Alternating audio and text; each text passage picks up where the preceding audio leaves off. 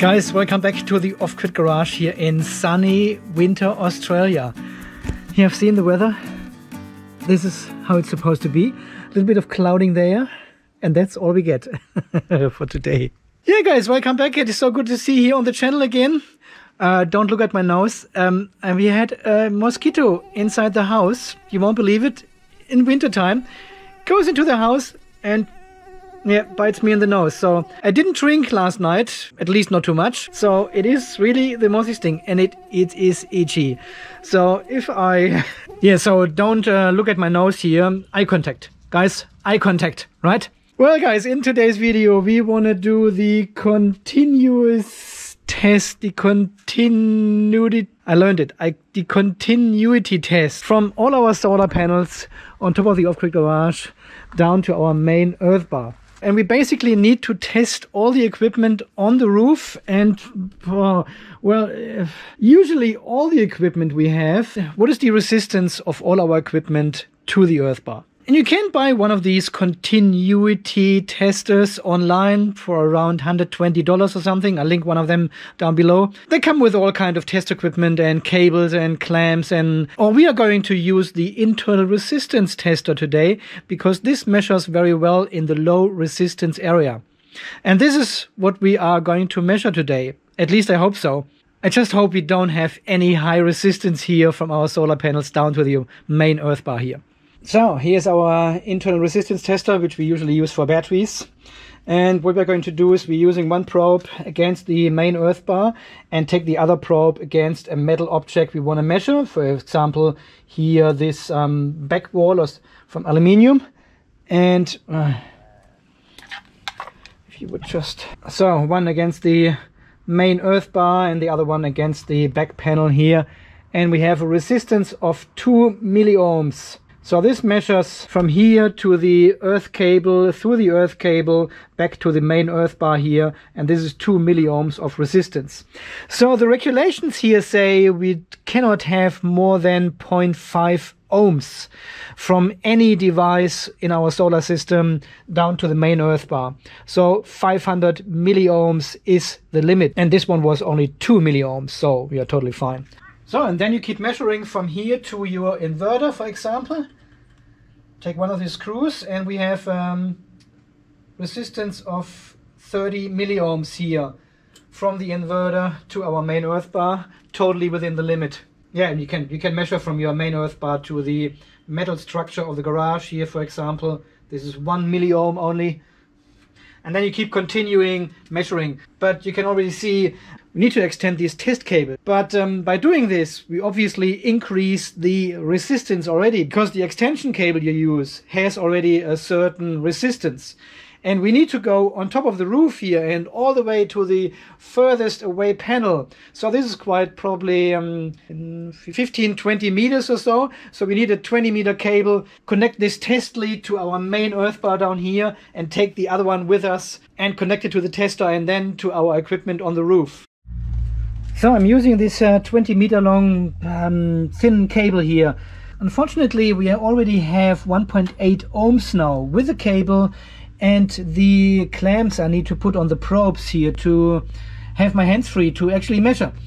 So we cannot have more than 2.3 ohms on the display here, then we would have a fail. And unfortunately, I cannot reset this one here to zero now with this cable connected.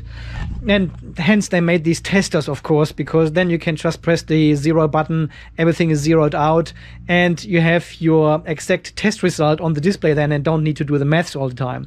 But here we have already 1.8 ohms now. Yeah, I've just uh, tried the UNI-T device here and it shows us 1.6 ohms and I can actually press the zero button here and then it will go to zero. But um, well 0.5 is our threshold. So I'm not quite sure how exact this still measures here in the low area of the scale. So I would rather take this one here. It gives us a bit more resolution on the display. That's why they make these testers right? Okay I've now connected our test cable here to the main earth bar and um, well this is the 20 meters we have across the driveway. Let's do a final calibration here. If I connect this one back to the main earth bar we have 0.75 okay so if we now go around here and measure on different metal objects here of our installation for example the front panel here this is still 1.77 or here the one of the screws on the inverter.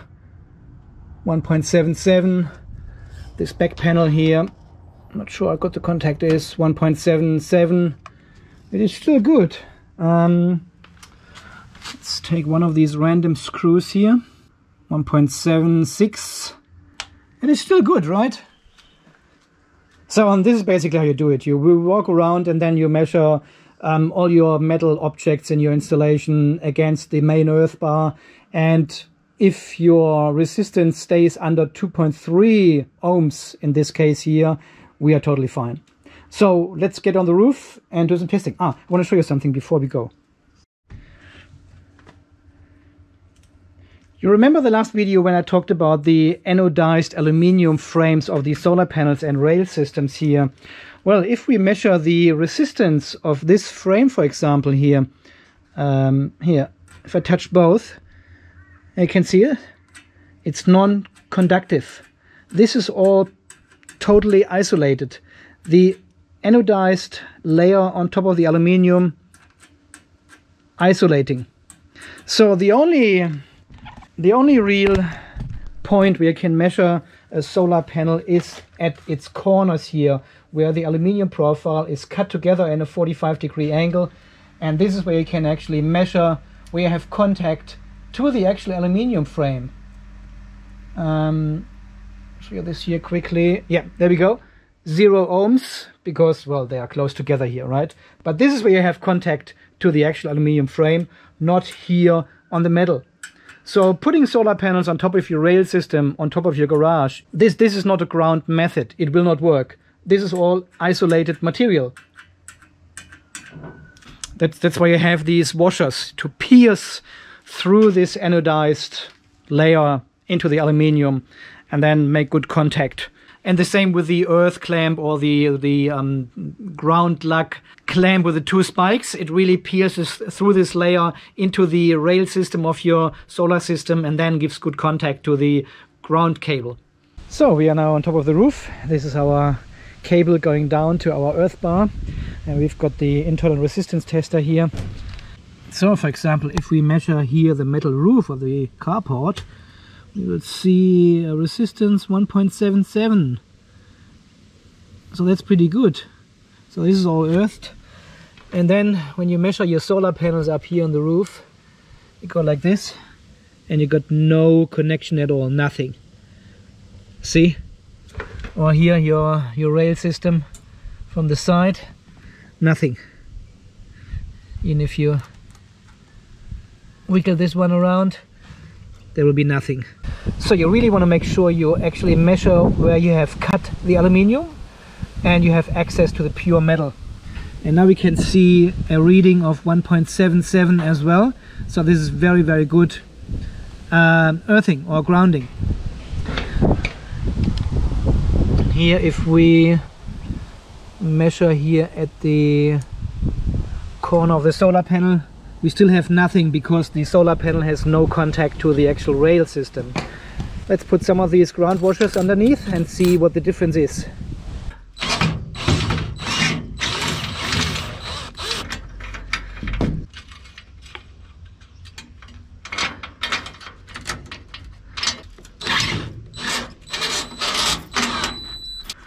And let's do another reading.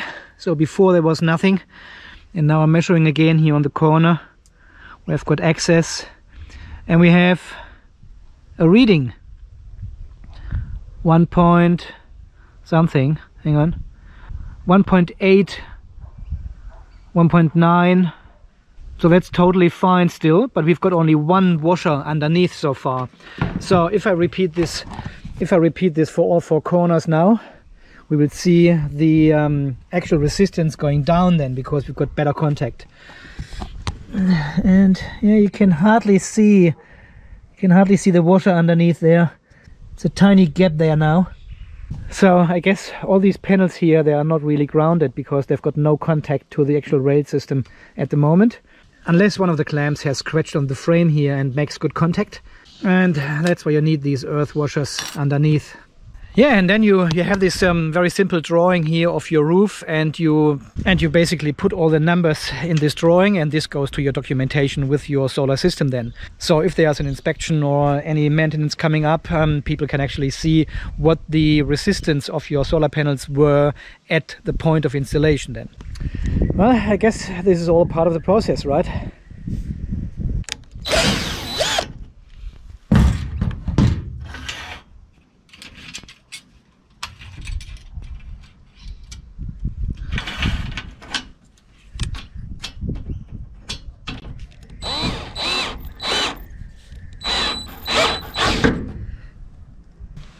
do another measurement here on this side, this corner.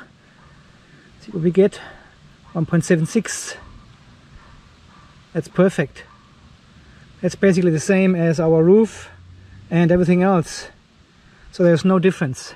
Well, and to put these earth washers underneath your panels, it, it took only a minute or so with the battery drill, you know. So if you haven't got them under your panels, I link these washers down below. You can buy them pretty much on eBay, AliExpress and Amazon everywhere.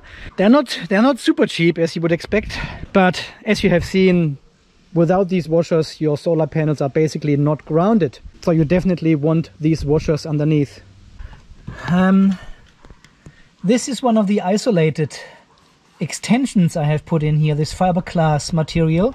So um, this actually isolates our rail system from the roof and I always wanted to measure if these feet actually have contact to the metal roof here because they have this rubber sealing, this rubber square underneath and also the actual screws have a rubber like a washer underneath here. So it looks like to me this screw here going into the metal roof has no contact to the aluminium. So let's measure the aluminium first. And for sure we have no contact with this mount to the metal roof.